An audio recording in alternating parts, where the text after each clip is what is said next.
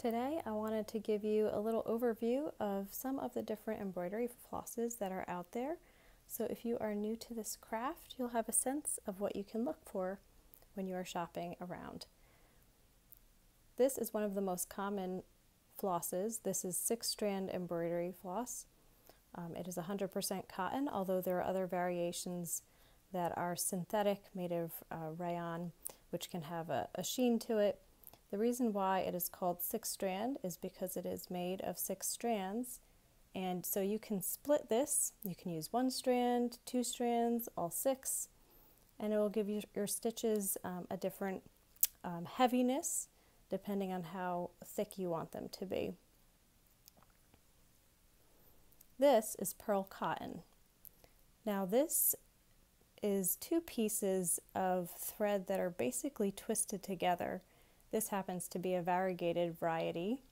Um, you cannot split those two pieces apart. It will destroy the thread, but this is nice for a decorative stitch. I especially like to use this with the stem stitch.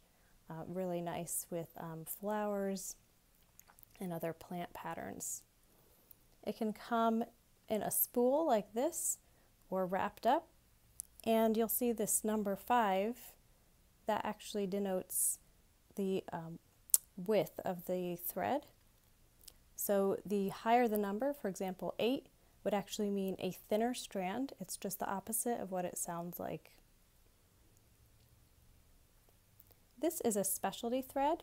This is actually, uh, I don't think that you can find this in the United States. I found this in a vintage shop. I don't know if DMC still makes this, but you can find it in other places by other manufacturers. This is actually Crewel uh, wool floss.